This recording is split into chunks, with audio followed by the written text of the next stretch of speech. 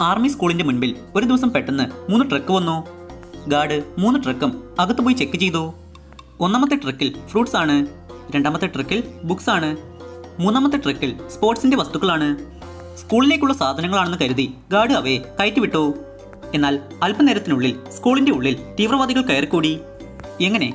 തീവ്രവാദികൾ എങ്ങനെയാണ് സ്കൂളിൽ വന്നത്? എന്താ നിങ്ങൾക്ക് ഈ മൂന്ന് ട്രക്കും നോക്കി പറയാമോ? ഇതിൽ ഏത് ട്രക്കിലാണ് തീവ്രവാദികൾ ഉണ്ടായിരുന്നതെന്ന്?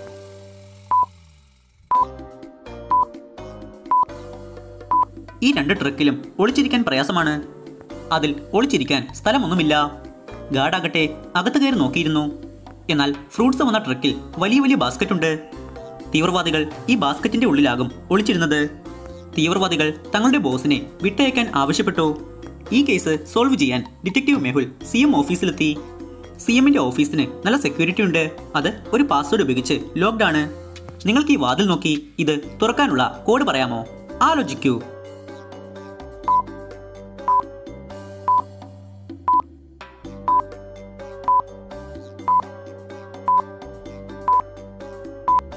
ശ്രദ്ധിച്ചു നോക്കൂ. ഇവയെല്ലാം പ്രൈം നമ്പേഴ്സ് ആണ്. പ്രൈം നമ്പേഴ്സിന്റെ തുകയായി അതിന്റെ തൊട്ടടുത്തുള്ള പ്രൈം നമ്പർ ആണ് നൽകിയിട്ടുള്ളത്. രണ്ട് പ്ലസ് മൂന്നിൽ അടുത്ത പ്രൈം നമ്പർ അഞ്ചാണ്. മൂന്ന് പ്ലസ് അഞ്ചിൽ അടുത്ത പ്രൈം നമ്പർ ഏഴാണ്.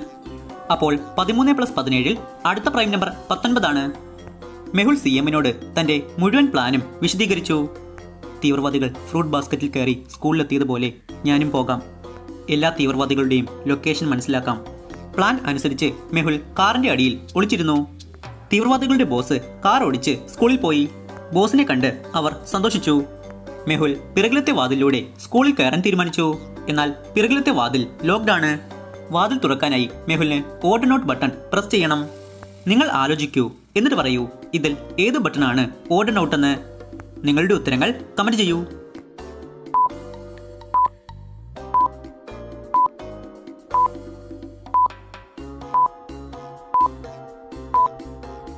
ഇതിൽ മീനാണ് ഓർഡർ ഔട്ട് ബാക്കി എല്ലാത്തിനും വെള്ളത്തിലും കരയിലും ജീവിക്കാനാകും. എന്നാൽ മീന് വെള്ളത്തിൽ മാത്രമേ ജീവിക്കാനാകൂ.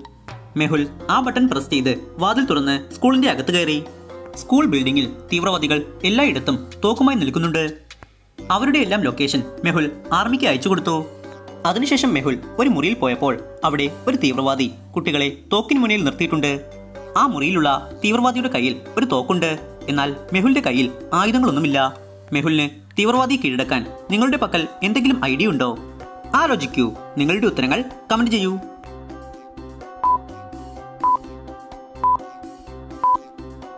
ശ്രദ്ധിച്ചു നോക്കൂ. തീവ്രവാദി ജനാലിയുടെ അടുത്താണ് നിൽക്കുന്നത്. മെഹുൽ പതിയെ ജനാലിയുടെ പിറകിലെത്തും. എന്നിട്ട് ആ തീവ്രവാദിയുടെ വാ പൊത്തിപ്പിടിച്ച് അവനെ ബോധം കെടുത്തും. അതിനുശേഷം മെഹുൽ ആ കുട്ടികളെ കൂട്ടിക്കൊണ്ട് സ്കൂളിന്റെ ബേസ്മെന്റിലെത്തും എന്നിട്ട് ഡോർ ലോക്ക് ചെയ്യും. എന്നിട്ട് ആർമിക്ക് ഷൂട്ടിങ്ങിനുള്ള സിഗ്നൽ കൊടുക്കും. ആർമി മെഹുൽ പറഞ്ഞ ലൊക്കേഷനിൽ ഫയറിംഗ് നടത്തും. തീവ്രവാദികൾ കൊല്ലപ്പെട്ടു. മെഹുൽ സ്കൂളിലെയും കുട്ടികളെയും രക്ഷപ്പെടുത്തി.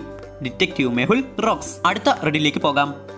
ദീപാവലിയുടെ രാത്രി ആരോ ഒരാൾ ശർമാജിയുടെ വീട്ടിന്റെ മുൻപിൽ ഒരുപാട് പടക്കം പൊട്ടിച്ചു. ശർമാജി ഉടനെ പുറത്തിറങ്ങി നോക്കിയപ്പോൾ അവിടെ ഒരു ചെറിയ കുട്ടിയുണ്ട്. അവൻ ശർമാജിയോട് പറഞ്ഞു അങ്കിൾ ഇവിടെ കണ്ണടയിട്ട ഒരു പയ്യൻ വന്നിരുന്നു. അവനാണ് ഇവിടെ നിറയെ പടക്കം പൊട്ടിച്ചത്. എന്നിട്ട് അവൻ അടുത്തുള്ള വീട്ടിലേക്ക് ഓടിപ്പോയി. ശർമാജി അടുത്തുള്ള വീട്ടിൽ പോയി. അവിടെ മൂന്ന് പേരുണ്ട്. ശർമാജി മൂന്ന് പേരുടെയും റൂമിൽ പോയി. അങ്ങനെ മനസ്സിലാക്കി ആരാണ് തന്റെ വീട്ടിന് മുൻപിൽ പടക്കം പൊട്ടിച്ചതെന്ന്. എന്താ നിങ്ങൾക്ക് പറയാമോ? അതാരാണെന്ന് ആലോചിക്കൂ. നിങ്ങളുടെ ഉത്തരങ്ങൾ കമന്റ് ചെയ്യൂ.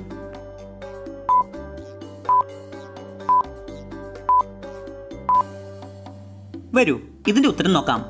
ശ്രദ്ധിച്ചു നോക്കൂ. രണ്ടാമത്തെ പയ്യന്റെ പിറകിലുള്ള ഭിത്തിയിൽ ഒരു ഫാമിലി ഫോട്ടോയുണ്ട് ആ ഫോട്ടോയിൽ ആ പയ്യൻ കണ്ണട വെച്ചിട്ടുണ്ട്. അപ്പോൾ അവൻ പടക്കം പൊട്ടിച്ചിട്ട് വീട്ടിൽ തിരികെ വന്ന് കണ്ണട ഊരി വെച്ചു. ബാക്കിയുള്ള രണ്ടുപേരും അവരുടെ ഫോട്ടോകളിൽ കണ്ണട വെച്ചിട്ടില്ല. ശർമാജി ഇത് മനസ്സിലാക്കി വരൂ അടുത്ത ഡിലേക്ക് പോകാം. കുശൽ കാട്ടിലൂടെ പോയപ്പോൾ തന്റെ മുന്നിൽ മൂന്ന് വഴി കണ്ടു. ഒന്നാമത്തെ വഴി പൂട്ടിയിട്ടുണ്ട്. അതിന്റെ താഴെയാകട്ടെ കുറച്ച് താക്കോലമുണ്ട്. രണ്ടാമത്തെ വഴി തുറന്നു കിടക്കുകയാണ്. മൂന്നാമത്തെ വഴിയിലാകട്ടെ ഒരു അപകടകാരിയായ നായയുണ്ട്. അത് മനുഷ്യരെ കടിച്ചു കീറും. നിങ്ങൾ ആലോചിക്കൂ. എന്നിട്ട് പറയൂ കുശൽ ഇതിൽ ഏത് വഴിയാണ് തിരഞ്ഞെടുക്കേണ്ടത്? A B or C? ആലോചിക്കൂ.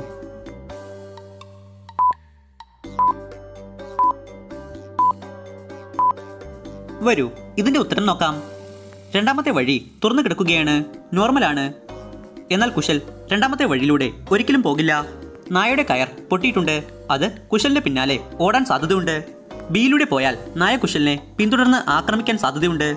അതുകൊണ്ട് കുശൽ ഒന്നാമത്തെ വഴി തിരഞ്ഞെടുക്കും. അവൻ താക്കോൽ ഉപയോഗിച്ച് വാതിൽ തുറക്കും. എന്നിട്ട് ഉടനെ അകത്ത് കയറി താക്കോൽ തിരികെ അടയ്ക്കും. നായയ്ക്ക് കുശലിനെ ഒന്നും ചെയ്യാനാവില്ല. അടുത്ത റെഡിലേക്ക് പോകാം. മുംബൈയിലെ ഒരു അപ്പാർട്ട്മെന്റിൽ ഒരു വനിത കൊല്ലപ്പെട്ടു. പോലീസ് അവിടെ എത്തിച്ചേർന്നു. നോക്കിയപ്പോൾ സ്ത്രീയുടെ കയ്യിൽ ഒരു കത്തിയുണ്ട്. കയ്യിലെ ഞരമ്പ് മുറിച്ചിട്ടുണ്ട്. കത്തിയിലുള്ള വിരൽപ്പാടുകൾ സ്ത്രീയുടെ വിരൽപ്പാടുകളുമായി മാച്ച് ആവുന്നുണ്ട്. പോലീസ് ഈ കേസ് സൂയിസൈഡ് ആണെന്ന് റിപ്പോർട്ട് ചെയ്തു. മെഹുൽ ഉടനെ ക്രൈം സീനിലെത്തി എന്നിട്ട് ഡെഡ് ബോഡി നന്നായി ചെക്ക് ചെയ്തു. അങ്ങനെ മനസ്സിലാക്കി ഇത് ഒരു സൂയിസൈഡ് അല്ല കൊലപാതകമാണെന്ന്. എങ്ങനെ? മെഹുൽ ഇത് എങ്ങനെ മനസ്സിലായി? എന്താ? നിങ്ങൾക്ക് ഈ സീൻ നോക്കി പറയാമോ? ആലോചിക്കൂ. നിങ്ങളുടെ ഉത്തരങ്ങൾ കമന്റ് ചെയ്യൂ.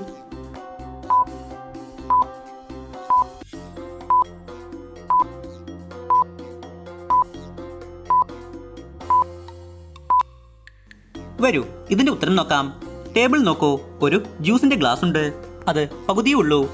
അപ്പോൾ അവർ ജ്യൂസ് കുടിക്കുകയായിരുന്നു. കൂടാതെ കയ്യിലെ മൂന്ന് നഖത്തിൽ നെയിൽ പോളിഷ് ഇട്ടിട്ടുണ്ട്. നെയിൽ പോളിഷിന്റെ ബോട്ടിലും തുറന്നിരിക്കുകയാണ്. അപ്പോൾ ആ സ്ത്രീ ജ്യൂസ് കുടിച്ചുകൊണ്ട് നെയിൽ പോളിഷ് ഇടുകയായിരുന്നു. നെയിൽ പോളിഷ് ഇട്ടുകൊണ്ട് എങ്ങനെയാണ് സൂയിസൈഡ് ചെയ്യുക? അങ്ങനെ മെഹുൽ മനസ്സിലായി ഇത് ഒരു കൊലപാതകമാണെന്ന്. അങ്ങനെ ആ കേസിന്റെ ഇൻവെസ്റ്റിഗേഷൻ വീണ്ടും തുടങ്ങി. അടുത്ത റെഡിലേക്ക് പോകാം. റോഹൻ രാവിലെ നോക്കിയപ്പോൾ തന്റെ വീട്ടിന്റെ മുകളിൽ ഒരുപാട് ചീത്തയായ കിഴങ്ങ് കിടക്കുന്നു. റോഹൻ തന്റെ അടുത്തുള്ള മൂന്ന് വീട്ടിലും ഇക്കാര്യം ചോദിക്കാൻ പോയി. ഒന്നാമത്തെ വീട്ടുകാരൻ പറഞ്ഞു ഞങ്ങൾ ഇന്നലെ രാത്രി ഇവിടെ ഇല്ലായിരുന്നു. ഇന്ന് രാവിലെയാണ് തിരികെ വന്നത്. രണ്ടാമത്തെ വീട്ടുകാരി പറഞ്ഞു കഴിഞ്ഞ രണ്ട് ദിവസമായി ഞങ്ങളുടെ വീട്ടിൽ കിഴങ്ങ് വാങ്ങിച്ചിട്ടില്ല. ഞങ്ങൾ അങ്ങനെ ചെയ്തിട്ടില്ല. മൂന്നാമത്തെ വീട്ടുകാരൻ പറഞ്ഞു ഞങ്ങൾ എപ്പോഴും നല്ല വൃത്തിയോടെയാണ് കഴിയുന്നത്. ഞങ്ങൾ ഒരിക്കലും അങ്ങനെ ചെയ്യില്ല. എന്നാൽ റോഹന് ഉടനെ മനസ്സിലായി ആരാണ് കള്ളം പറഞ്ഞതെന്ന്? എന്താ? നിങ്ങൾക്ക് പറയാമോ? അത് ആരാണെന്ന് ആലോചിക്കൂ.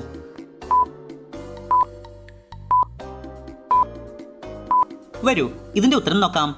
രണ്ടാമത്തെ വീട്ടുകാരിയാണ്. കള്ളം പറയുന്നത്. ശ്രദ്ധിച്ചു നോക്കൂ അവരുടെ വീട്ടിലെ ടേബിളിൽ സമൂസ ഇരിപ്പുണ്ട്. അവർ രണ്ട് ദിവസമായി കിഴങ്ങ് വാങ്ങിച്ചിട്ടില്ലെങ്കിൽ എങ്ങനെയാണ് സമൂസ ഉണ്ടാക്കിയത്? അപ്പോൾ അവർ കള്ളം പറയുകയാണ്. റോഹൻ ഇത് മനസ്സിലാക്കി. അടുത്ത റെഡിലേക്ക് പോകാം.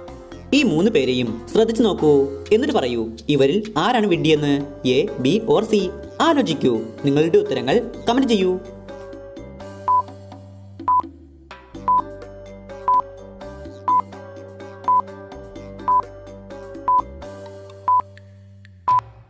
ഇതിൽ എ ആണ് വിഡ്ഢി. കണ്ണാടിയിൽ അവന്റെ പിറകുവശം കാണാൻ സാധിക്കും. അപ്പോൾ അവൻ ഷോർട്സ് ധരിച്ചിട്ടുണ്ട്. പിന്നെ എന്തിനാണ് അവൻ ഇല കൊണ്ട് മറച്ചിരിക്കുന്നത്? കൂടുതൽ റിഡിൽ വീഡിയോസിനായി ചാനൽ സബ്സ്ക്രൈബ് ചെയ്ത് ബെൽ ഐക്കൺ കൂടി എനേബിൾ ചെയ്യുക.